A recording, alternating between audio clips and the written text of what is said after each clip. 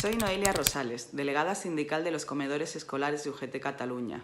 Hoy más que nunca luchamos por los derechos de nuestros compañeros. Seguimos y seguiremos. UGT en primera línea. Todo saldrá bien.